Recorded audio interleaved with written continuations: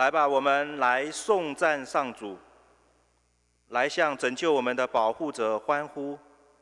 我们要以感谢的心到他面前，我们要向他欢唱颂赞之歌，因为上主是大能的上帝，是超越万神的大君王。天父上帝，今天上午，愿所有来到你面前、一切寻求你的人，都因你高兴欢喜。愿那些喜爱你救恩的人都说：上帝多么伟大！上帝啊，我们要一心称赞你，来荣耀你的圣名。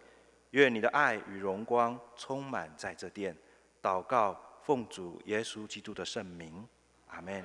请我们仍然站立。来唱诗第一百零八首，荣耀全归上主。歌词也可以参阅程序单第三页。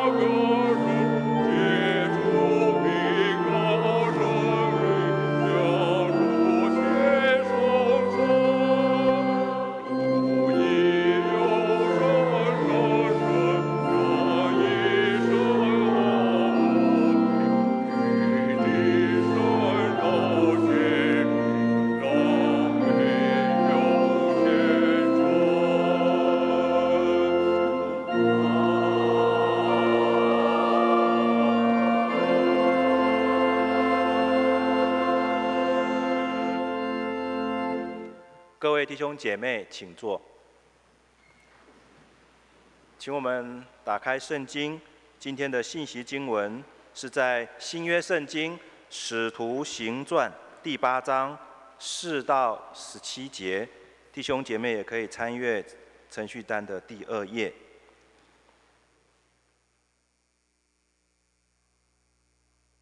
找到之后，请听我来攻读这段经文。弟兄姐妹，我们一同来领受《使徒行传》第八章四到十七节。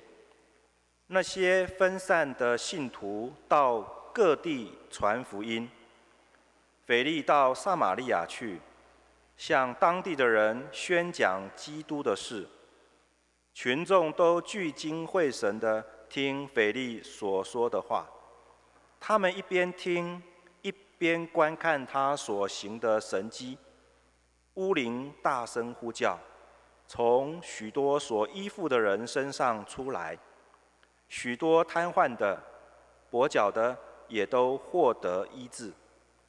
撒玛利亚城里充满喜乐。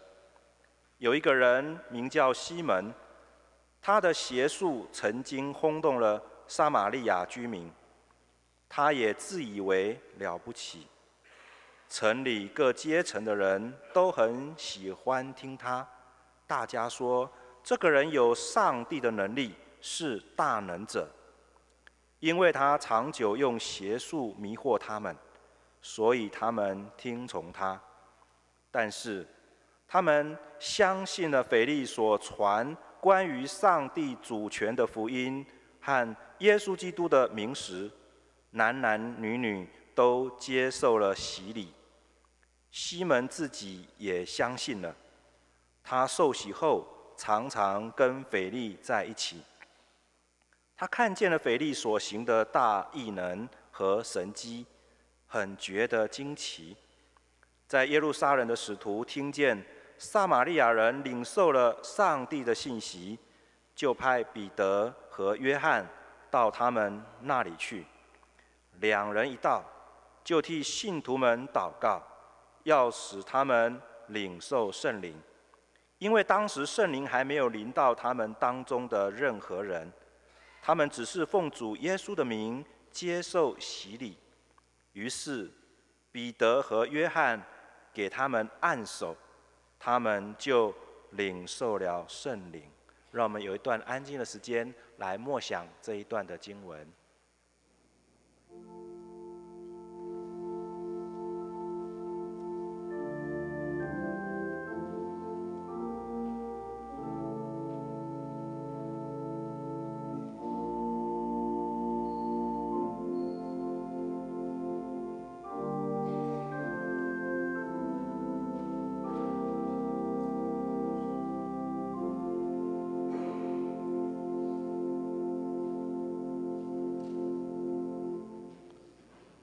今天的经文，我们看到初代耶路撒冷的教会，虽然因信仰大遭逼迫，门徒四散，然而他们却因此展开了第一次向外宣教的行动，到各处去传福音。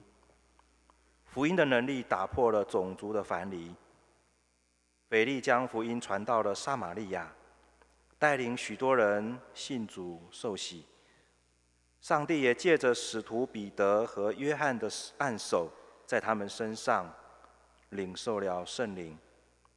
此经历不仅让撒玛利亚的信徒和耶路撒冷的信徒同感一圣灵，在此也见证了主的爱能够溶解他们自古以来的仇视，拆毁他们中间隔断的墙，彼此接纳，成为主的身体。求主今天上午透过这段经文，帮助我们每一位信主受尽加入教会的弟兄姐妹们，我们都能够明白主你对教会的心意，让各地的教会都能在你的灵里合而为一，同心兴旺福音，使主名得荣耀。祷告奉主耶稣基督的圣名，阿门。最低。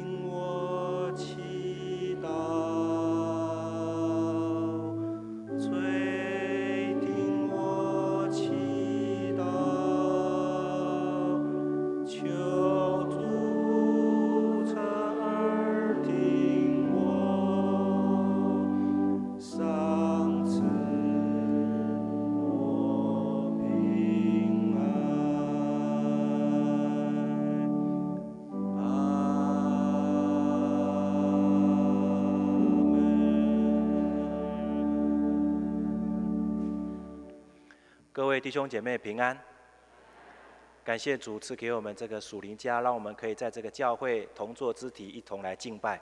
不晓得今天在我们当中是否有是第一次来到我们华安堂参加我们主日崇拜的我们的新朋友？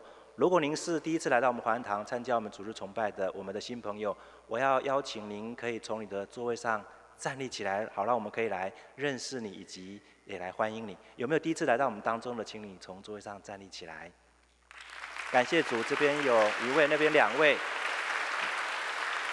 好，请坐。你们可以用一点时间将你们资料写在留名卡上，待我们等一下收奉献的时候，可以直接投入奉献袋内。这时，我们让我们来唱《奇异恩典》，拱手彼此来问安，也特别欢迎这几位新朋友。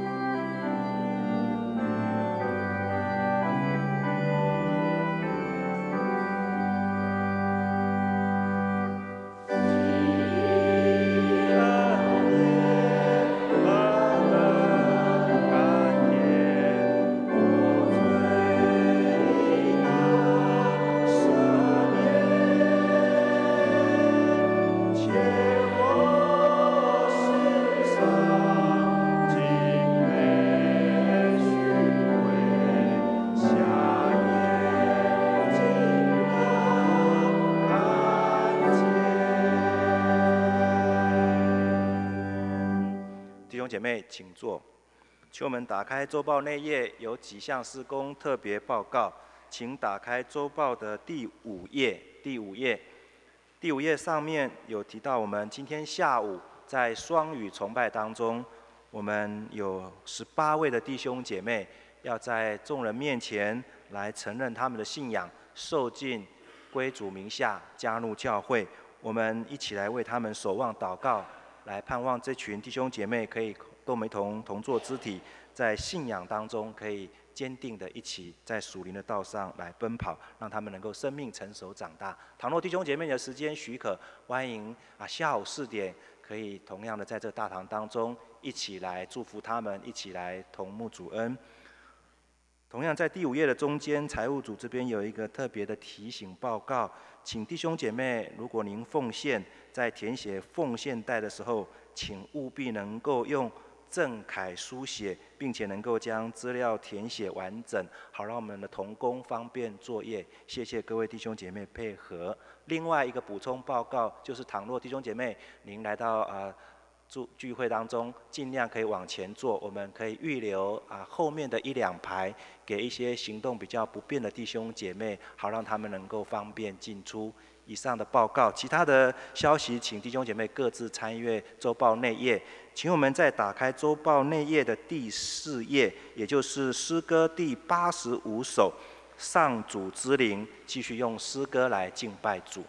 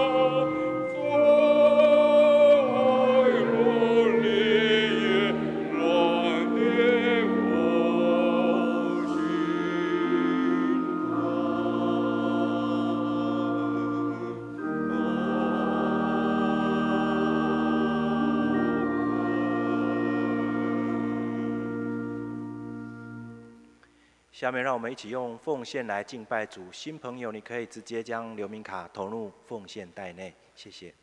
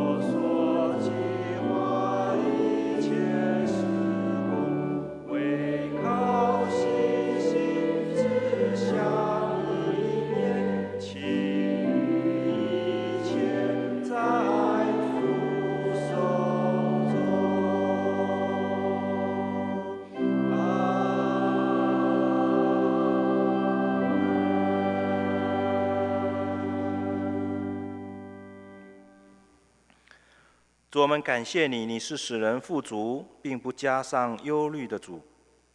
你教导我们敬虔，加上知足的心，便是大力了。今天中午，我们恭敬地站立在你面前，存着感恩的心，向你献上从你而来所得的货财金钱，还献给你。感谢你对我们的厚爱恩情。宝贵救恩，愿今天中午所有蒙你恩惠、属于你的儿女们，不仅是将金钱献上而已，也愿我们将心、将人全然献上归你，并且我们也时常乐意将时间分别为圣，归主所用，在主的教会。我们可以个人按着所得恩赐的不同，彼此的来款待，彼此的服侍，好了，我们可以同心建造主你的教会。我们今天中午也要向你来祷告恳求，我们恳求你怜悯这个世界。这个世界如今撒旦黑暗权势猖狂，世界各地恐怖主义层出不穷。爆炸案与战争不断，台湾的社会最近也发生了骇人听闻的杀童事件、捷运杀警事件。愿主的爱能进入人们的心中，让这个世界不再有仇恨，不再有暴力。愿你的教会能做这世界的爱与光，传扬你天国和平的佳音。好让人都能够回转来归向你，祷告奉主耶稣基督的圣名，阿门。各位弟兄姐妹，请坐。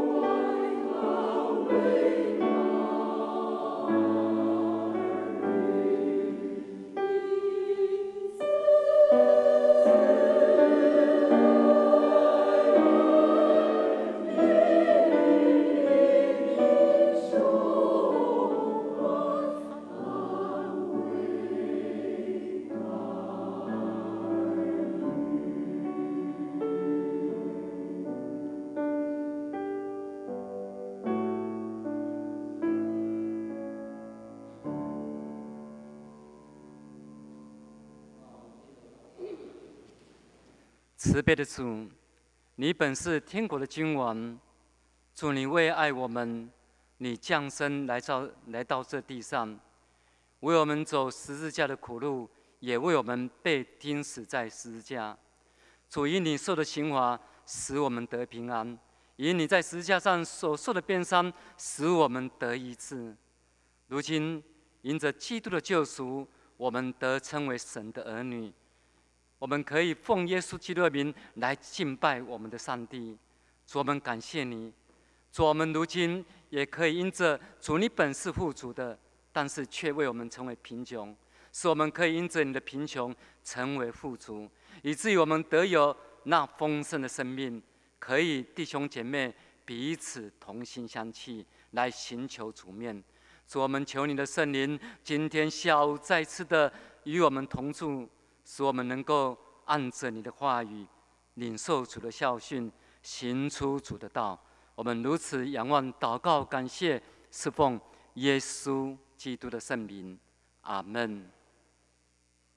当上一个主日，我们一起喜乐的迎接耶稣基督的复活。在这复活以前，他为我们走这十字架的苦路。在整个受难周的当中，让我们去经历到主他的爱，一点一滴的那苦路，绘制成我们内心里头那焦灼的爱，停驻在每一个圣徒的身上。也因此，我们今天再次的在主的救恩当中，我们要一起来思想。圣灵的喜，当耶稣基督，他为我们被钉十字架，他受死了，被埋葬了。第三天，他复活了。当他复活的时候，就跟使徒显现四十天之久。那么，常常跟他们谈论神的国。所以，耶稣基督跟他们聚集的时候，耶稣就说：“不要。”离开耶路撒冷，要等候父所应许的，就是你们听见从前约翰是用水给你们施洗，但不多日，你们要受圣灵的洗。在耶稣被接升天的那一刻，耶稣又留下这样一句吩咐说：“但圣灵降临在你们的身上，你们就必得着。”能力，并要在耶路撒冷、犹太全地和撒玛利亚，直到地极，做我的见证。福音从耶路撒冷要迈向那撒玛利亚，并进入外邦的国度。延续这使徒行传一章八节，复活主他的丰富。那么每一个门徒经历靠着圣灵的能力。开始将福音从耶路撒冷，然后犹太全地到撒玛利亚，直到天涯海角，我要为主来做见证。圣灵的浇灌带来传福音的心智，圣灵的同在也赐予门徒们见证主名的一个能力。圣灵他与门徒同在的时候。那必起了内心里头那生命的升华，那更新的一个生命，在门徒的当中，这是个人没有办法透过人人样形式去转换的一种生命的能力。因此，一步一步的从这耶路撒冷，要福音要进入那外邦的国度，在犹太人的传统里。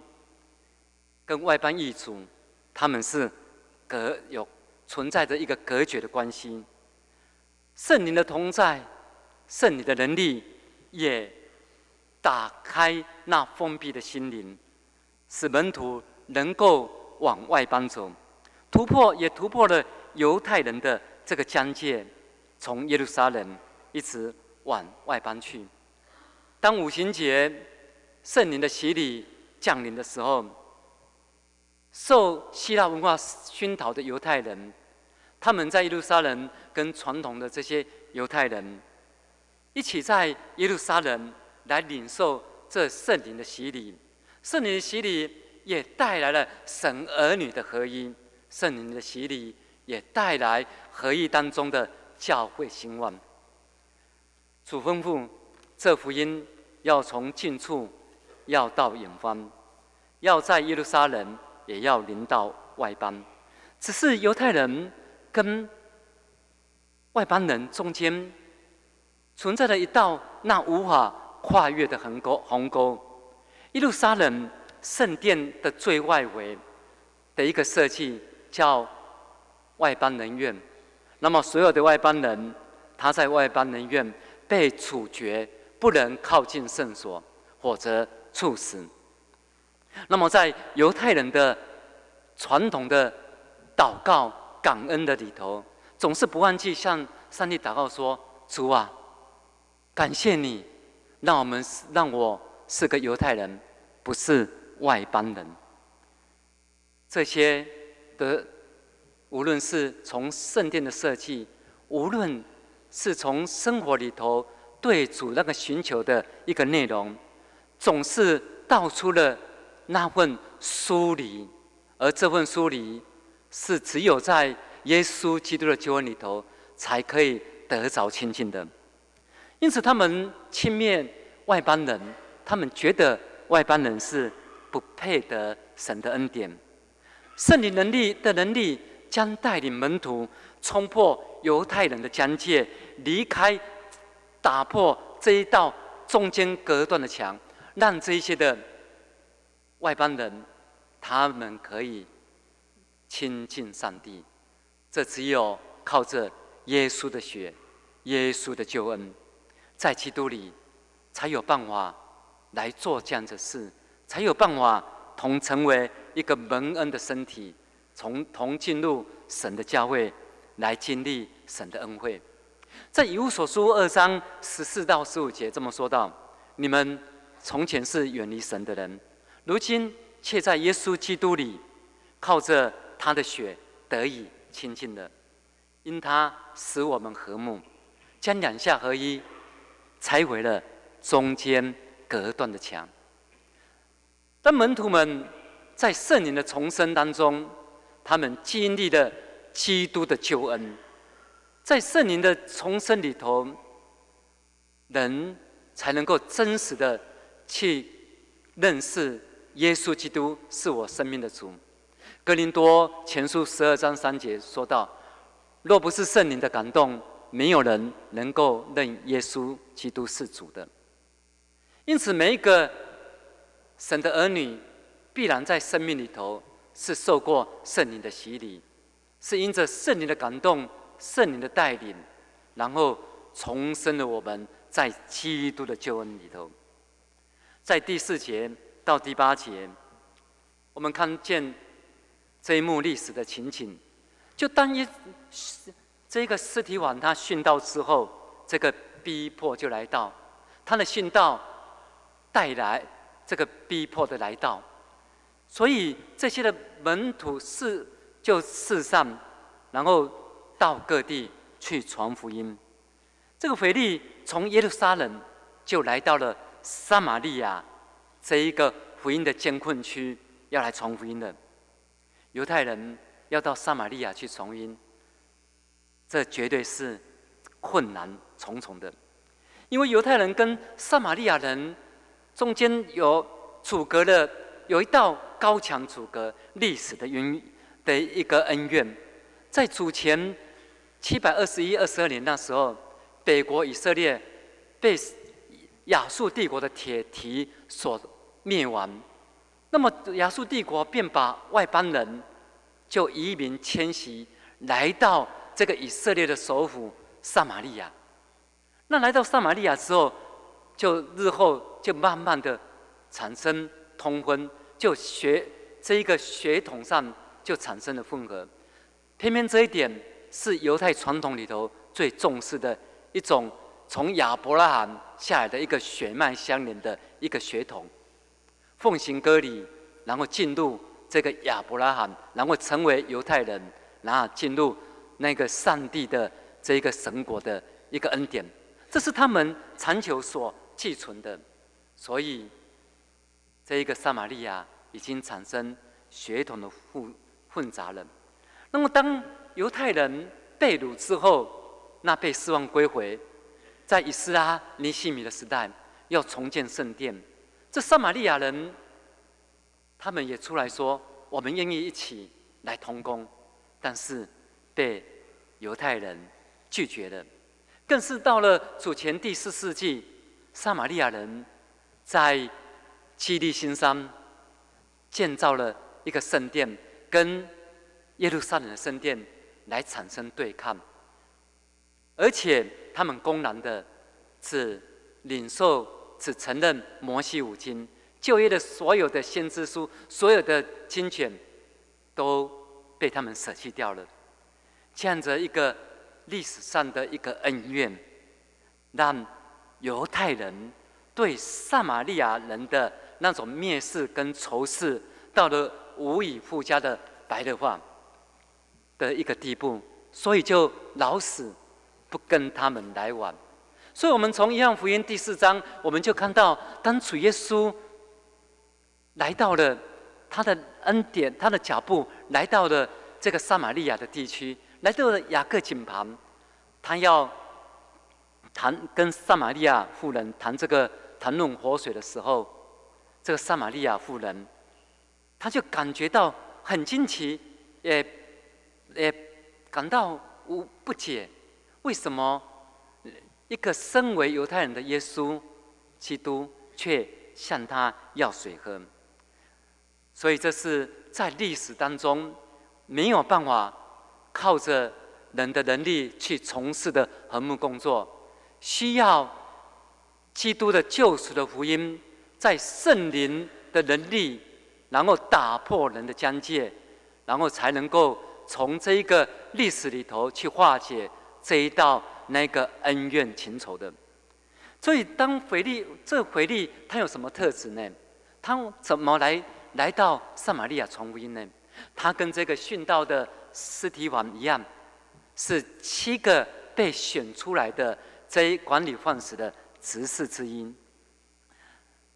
他的生命特质在《使徒行传》第六章第三节有讲到，他的生命特质是有好名声，被圣灵充满，然后智慧充足。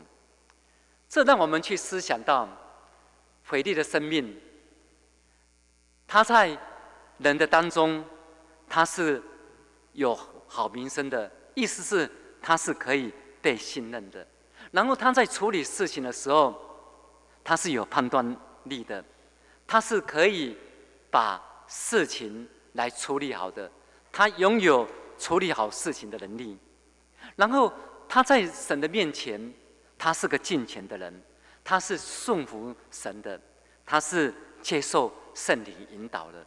所以无论对事情，无论是在人的当中，无论是在神的的面前，腓力，他都他是拥有的这样一个美好的这样一个生命的一个品质。因此，经文我们看到，他一说，他一行，他一说，人就怎么样呢？人就听到了，人就专，而且是专心一意的来听他所宣讲的。如果是一个没有拥有这样一个生命品质的，在人的当中，恐怕我们一开口，人就离去；恐怕我们一讲论，人就怀疑。所以我们就思想到，这个福音往这个撒玛利亚，那么经过一个圣灵的洗礼，菲利他经历圣灵的洗礼，他也绝对是经历过生命中的被对付、被更新。所以，上帝就使用他来进入这个撒玛利亚。当他一传讲，这城里的人人就专心一意的听，一边听他所传讲的耶稣基督，然后一边要看你在做什么，所以一边看你所行的。因此，所说的跟所行的无法两分化，它绝对是彼此相连的。菲利。他是个外在跟内里是一致的，他所信的道跟他所行的道是一致的。所以说，在这里圣灵就透过他要在这里产生能力，就让人的心能能够来听，让人也能够在这当中来看见这个生命的一个感染力。所以，当辉利传讲，辉利在行神迹的时候。撒玛利亚人，他们在他们的当中，就产生了这一个圣灵内住的品格，跟圣灵外显的能力，在福音的整个信息的当中。那么福音在这些人的当中被听见、被领受，然后被行出来，黑暗的权势要离去，人。要得安慰，人心要得医治，所以就造成整个合成就得到喜乐了。所以圣灵的人，圣灵的能力在哪里，哪里就必看见主耶稣基督的救恩。主耶稣基督救恩的福音信息到哪里，哪里就看见喜乐。从第九节到第十三节，我们继续的看另外一个人。这个人他叫做西门，他一直以来是在耶路是在撒玛利亚，他在行邪术的。他宣讲的是万字尊大，是自以以为了不起的自己。他所行的是来自黑暗势力、让人惊奇的邪术。当他在行邪术的时候，圣经说，第十一节，圣经说，因为他行邪术，所以耶路撒冷人的人就听从他。听从有两种不一样，一种的听从是生命得自由的那种喜乐的听从，就是腓力他的这个所传讲的这个福音的信息。然后带来撒玛利亚人的一种听闻福音、听从之后，人就得到释放，那乌灵就能从人的身上离去，那些的黑暗就在基督的福音里头、圣灵的光照当中，黑暗要离去的。但是对于这个西门的一个听从，却是瑕疵的一个听从，却是一种。不得不的一种一种听从，是一种没有自由、没有喜乐的一个听从。在这黑暗的时代，当邪灵四处的运作在这个世界、这个社会，许多人的心里头被捆绑，许多人在这个过程当中被迷惑，因此就产生出了那个不是生命自由的一种听从。我们去思想。我们的社会现在已经到达了那一种什么样的事情都不是绝对的，都可以接受的，以至于那些因着那些因着同性恋要进入婚姻的，也是可以被接纳，甚至有时也可以在主的教会里头被认同的。我们是认同这些罪人。但我们不认同罪，我们不认同黑暗呐。因此，在这边，我们真的要好好的去思想，菲利，当我们的内心是怎样，福音信息就是会被如何的传递。当我们内心，我们真的去学习，成为一个敬畏神的人，被圣灵来管理、来引导，然后在人的当中。我们是真实的有那份爱的流露，在一切需要被安慰的人身上。但是那邪灵却不是这样子的，他要迷惑人的心，让人误以为是听到了一些美好的信息，然后人就去遵从，就去行。这个在这边我们看。后来，这位行邪术的西门，他也是相信了耶稣，他也受了这水的洗礼。但是，使徒彼得显然对他受水的洗礼有另外的看法，所以在二十一节，彼得就说：“这个西门在神的面前，心术是不正的。西门他受了水的洗礼，他就常常跟腓力在一起，跟腓力在一起，他不仅跟腓力在一起，而且是如胶似漆、如影随形的。”紧紧贴着回力，是跟他产生了一个什么呢？一个团契的一个生活，一个团契的关系。很可惜的，腓力他没有西门，对不起，西门他没有被腓力在神面前的这一个敬畏神的这样一个态度所感染。因为他的内心是不断的在惊奇那些神奇奇事，以至于当他看到腓力奉主的名行神奇奇事的时候，他不自觉的又想到当时候他自己在行邪术的时候，让百姓惊奇的那一种自我膨胀、高举自己的那一种欢喜。所以受了洗礼之后的西门，他虽然。进入团契，他有机会逃避少年人的失意，以这辉力这位亲亲祷告主的人一起追求公益性德、仁爱和平。但是他似乎被内心对渴望那份权柄，跟渴望那外在的那个能力所吸引。所以当看见使徒彼得在为撒玛利亚的信徒祷告，圣灵。降临下来的时候，他想要用钱来买这个权柄，他就被彼得责备：“你的银子跟你一同灭亡吧。”吸引西门的仍旧是存留在神机跟异人的上面，而不是腓力所传讲的神的国跟耶稣基督是主是我们救主的这福音。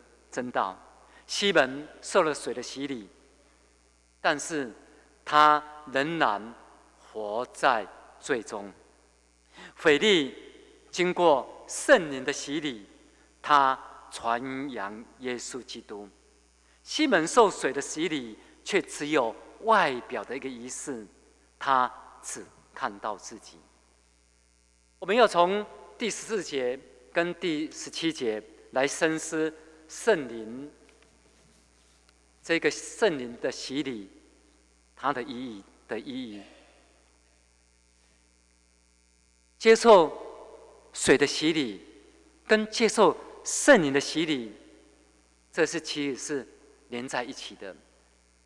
透过水的洗礼来表达内心里头是被圣灵内住，是圣灵掌管的，是。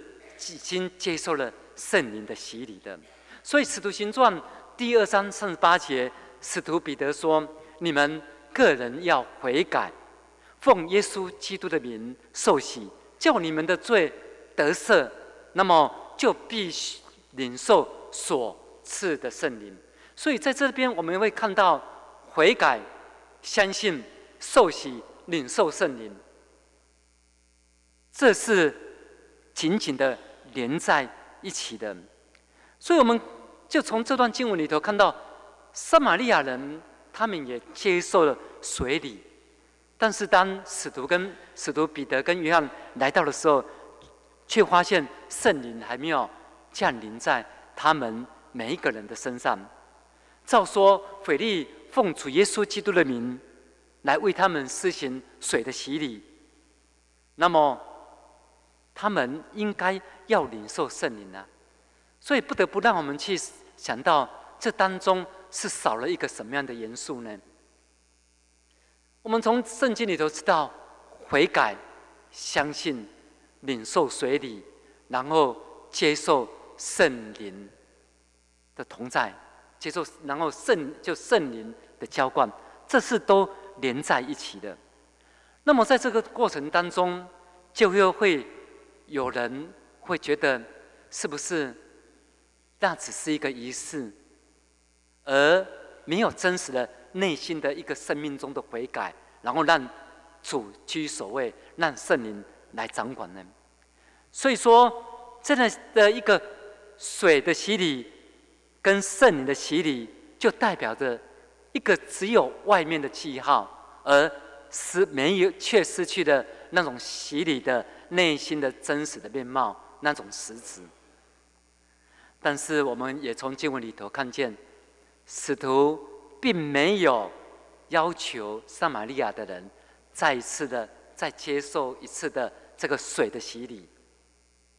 这也意味着腓力他的福音功效是正确的，是带来一个效果的。从八章十四到十节这段经文当中，就会。产生一些的认为，就会认为有的人就会认为说，这个洗礼有两次，第一次是水的洗礼，第二次是圣灵的洗礼，然后就是基督徒受了水礼水的洗礼之后，还要再受第二重的祝福，就是圣灵的洗礼。那么说这样的说法是偏重于就是外面的这一个恩赐上面的一个彰显的方式，是。偏重于这些某些的属灵经验跟说方言等这些的恩赐。那么撒玛利亚人奉主耶稣基督的名受洗，却仍然没有经验到圣灵。那么约约翰、彼得、约翰为他们按手，他们就受了圣灵。那么在这过程里头，就是有人认为，哦，就这个是分分两个的，一个。水的洗礼啊是在前，圣灵的洗礼是在后。但是我们从使徒使徒行传第十章，哥尼流的信主，他是先接受圣灵的洗，然后马上就接受彼得就带带他们全家受这个水的洗礼。所以这是圣灵的主权呐，这是神的主权。什么在前面，什么在后面？这不是真理，这也不是，这也不是次序当中的一个重要的部分。重要的是什么呢？圣灵的洗礼要带出那合一、合一性、圣徒相通那个彼此的合一。彼得代表着耶路撒冷，代表着教会的柱石，而这约翰。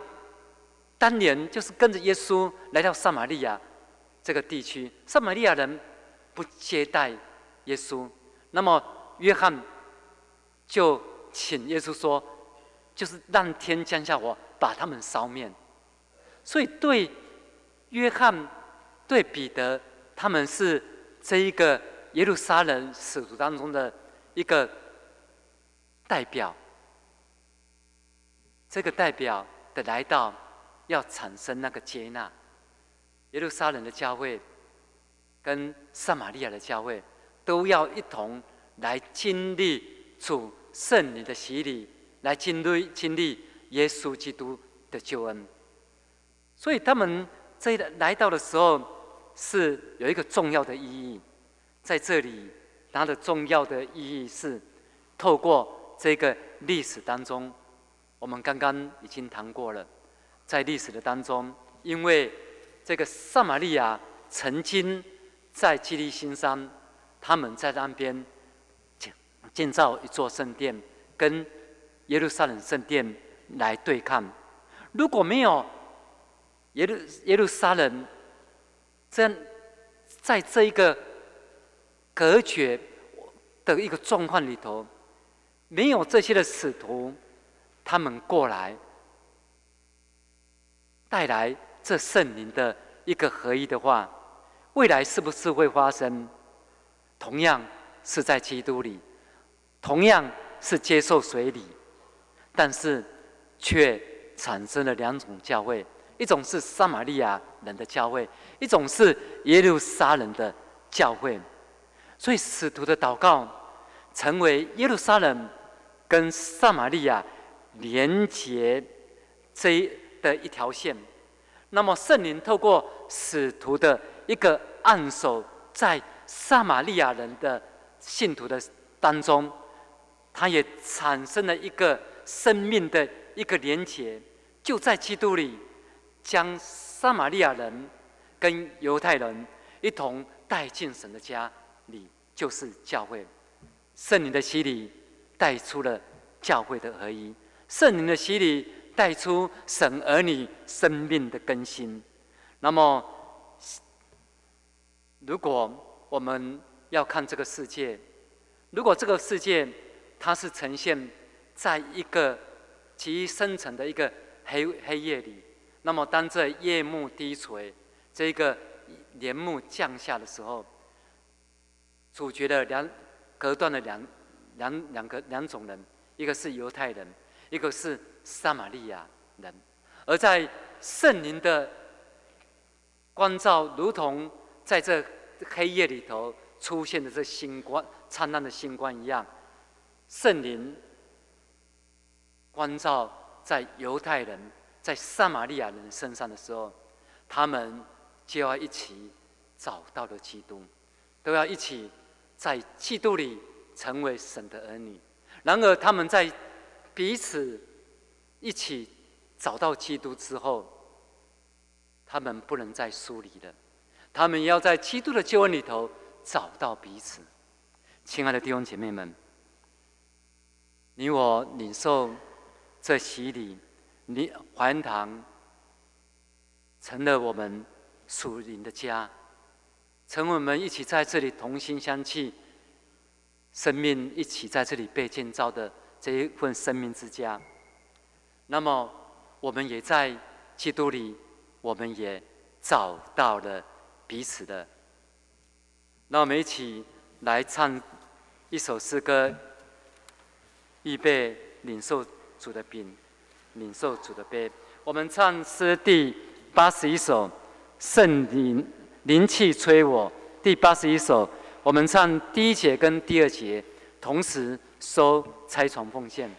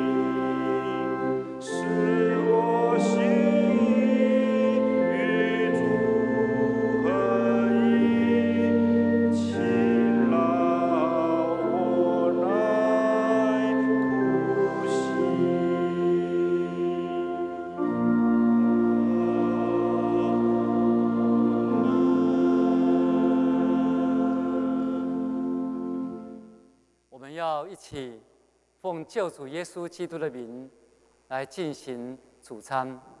华恩堂的主餐是开放式的主餐。如果您是一位基督徒，而且也经历过水礼，也就是进水礼或是点水礼的弟兄姐妹，让我们一起来到主餐桌前，一起进入。这爱的团契，在主的面前纪念他的死，他的复活，在主的面前一起同心相契，彼此合一，来荣耀他的名。如果您还不是一位基督徒，而且也还没有经历过这个水礼，那这样子的朋友们，要要当饼跟杯。从你们身旁经过的时候，请你暂时不要领受，跟我们一起就安静默默的，我们来敬拜我们的神。但愿有一天，你能够透过水里，然后进入这爱的团契，加入教会，我们一起在肢体一同在神的面前来服侍他，来去领受他的恩。哥林多前书第十十一章也教导我们：当我们在领受主的饼、主的杯之前，我们个人必定要对我们的生命。做一个反省，免得我们吞吃了自己的罪。我们要有一段时间，我们个人安静，要来默想。就在今天的信息里头，你已经经过了水里了。然而，在我的生命里头，我渴望吗？我渴望。我是被圣灵掌管，是被圣灵引导的，因此我渴望能够向人见证福音吗？我渴望有美好的肢体生活吗？如果在默想的当中，你想起了在肢体的关系里头有哪一个部分你亏负了肢体，你亏负人了，或是有哪一部分？你得罪了神了，那么也在默想当中，求耶稣基督的宝血来遮盖，让我们一起用圣洁的装饰，再次的从主餐桌前，我们一起来纪念主，也一起同得更新，同被建造，我们一起安静。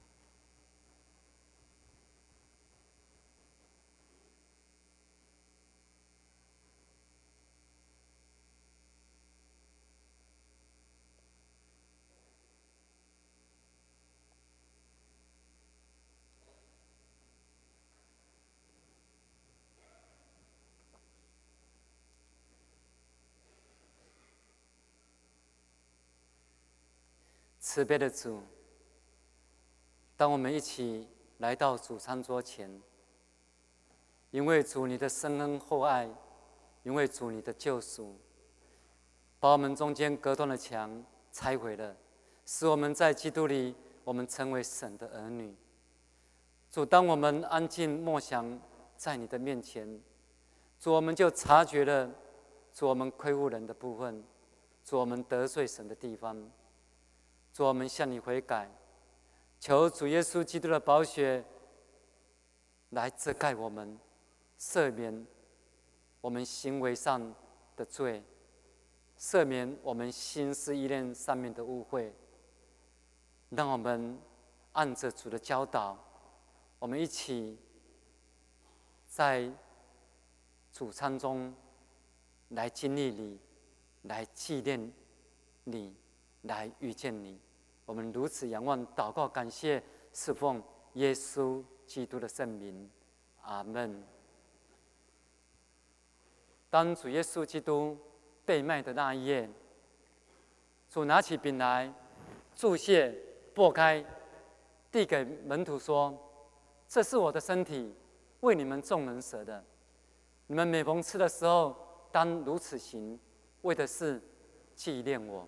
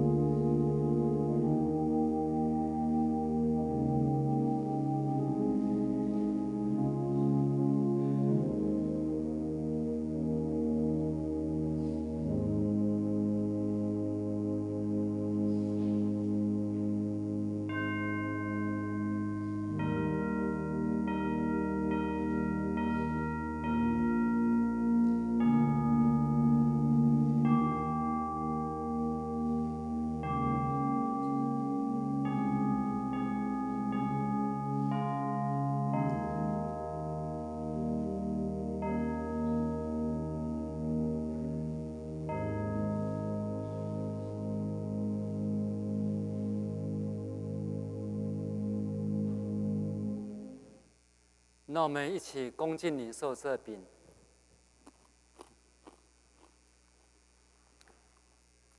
饭后，主耶稣也这样子拿起杯来说：“这是新约，是神用我的血所立的。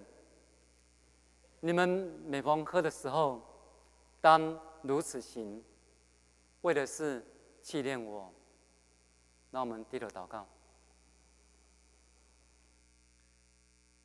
慈爱的父神，我们感谢你赐给我们这美好的恩典，亲自为我们设立主餐，让我们每逢吃这饼、喝这杯的时候，我们不仅感怀主你对我们的救恩、美好的恩典，更是我们也能够在这个美好的时刻，与主与你有美好的契合。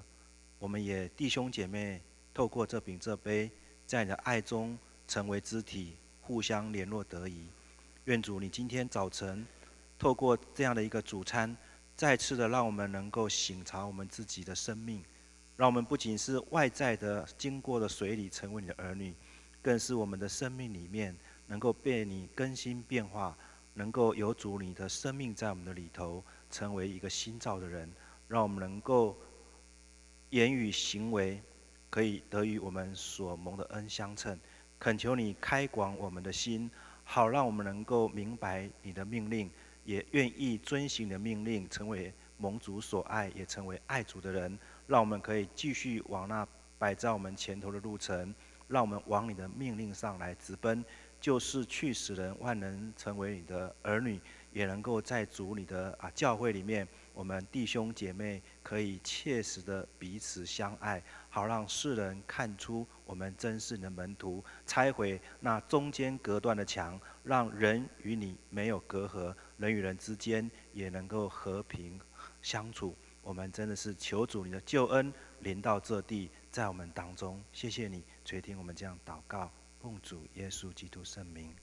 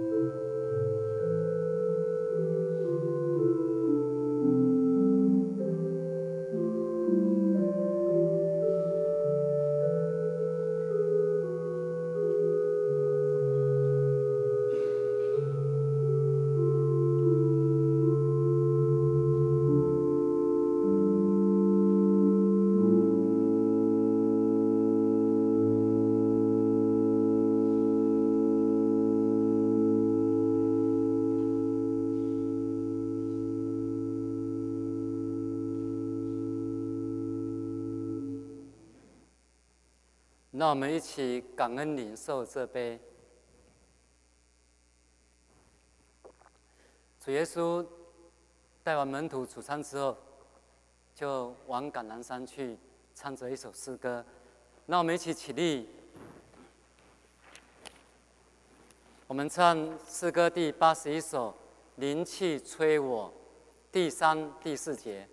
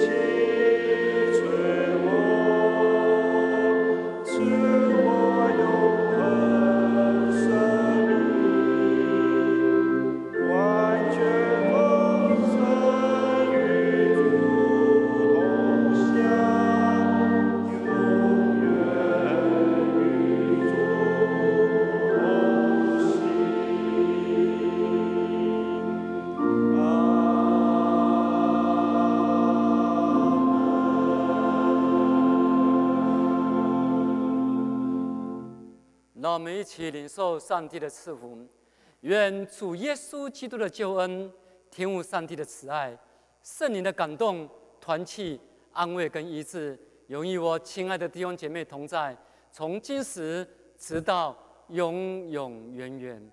阿门。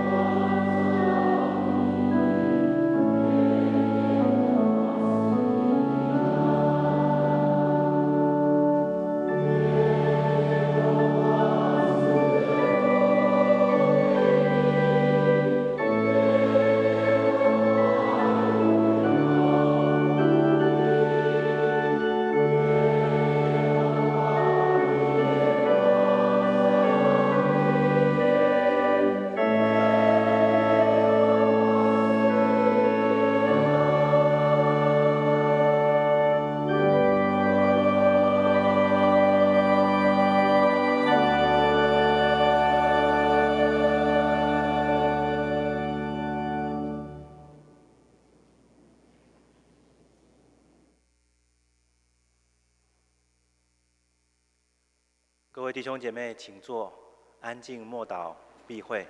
闭会之后，我们在一点会有一个清明节的联合追思礼拜。倘若弟兄姐妹愿意参加，可以留下来。